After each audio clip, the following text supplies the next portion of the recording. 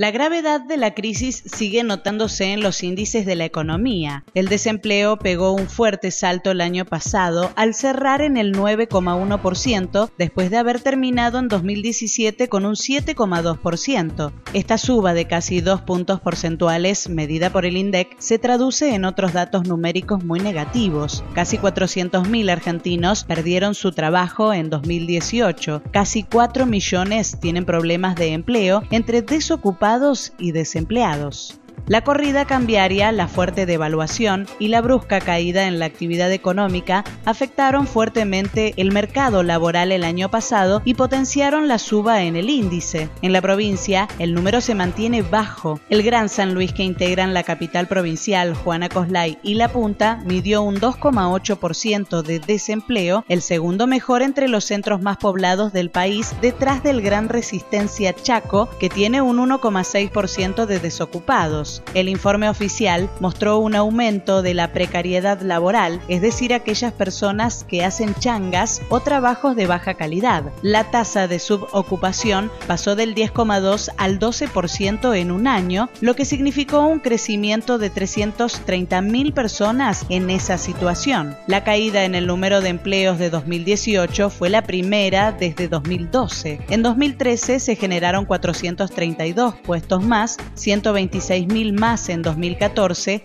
214.000 para arriba en 2015, 110.000 en 2016 y hubo 266.000 más en 2017. El panorama no parece dispuesto a ver una mejora en el corto plazo. La encuesta oficial del Ministerio de Producción y Trabajo advierte que el 58% de los empresarios anticipa una reducción de sus planillas laborales en el primer cuatrimestre de este año.